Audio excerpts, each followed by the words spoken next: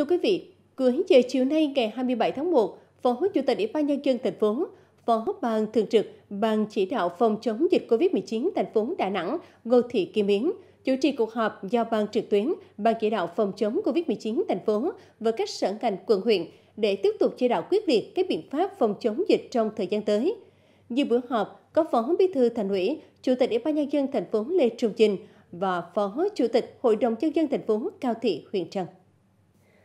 Phát biểu tại cuộc họp, Chủ tịch Ủy ban nhân dân thành phố Lê Trung Chinh nhận định, đến thời điểm này, số ca mắc COVID-19 trên địa bàn thành phố còn cao, song diễn biến ca mắc có tiên lượng nặng không nhiều. Chủ tịch Ủy ban nhân dân thành phố cũng ghi nhận thời gian qua, toàn bộ hệ thống chính trị và người dân đã nỗ lực trong công tác phòng chống dịch, mong muốn thời gian từ nay cho đến Tết âm lịch và sau Tết, các sở ngành địa phương tiếp tục thực hiện quyết liệt phòng chống dịch và nhân dân thành phố tiếp tục thực hiện nghiêm thông điệp 5K của Bộ Y tế để đảm bảo môi trường an toàn.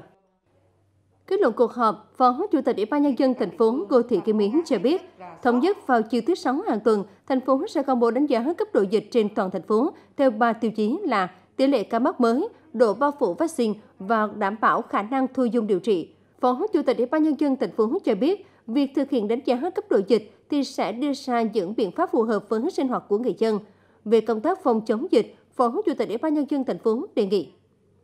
chúng ta vẫn phải thực hiện uh, các cái cái chỉ đạo của ban chỉ đạo về công tác phòng chống dịch để các cái địa phương thực hiện nghiêm túc. À, tránh tình trạng là chúng ta bình thường nhưng mà nếu như có vấn đề gì thì cuối cùng quy lại cái cái cái cái, cái trách nhiệm của từng địa phương và từng ngành. Thì cái này thì tôi cũng nhắc lại cho các địa phương mình lưu ý. Về công tác điều trị F0, Phó Chủ tịch Ủy ban nhân dân thành phố đề nghị địa phương thực hiện linh hoạt nhưng đảm bảo, đồng thời nhấn mạnh không để thiếu các trang thiết bị sinh phẩm, vật tư y tế trong thời gian Tết. Thông tin chi tiết về cuộc họp ban chỉ đạo phòng chống dịch thành phố sẽ được chúng tôi cập nhật trong bản tin thời sự sau.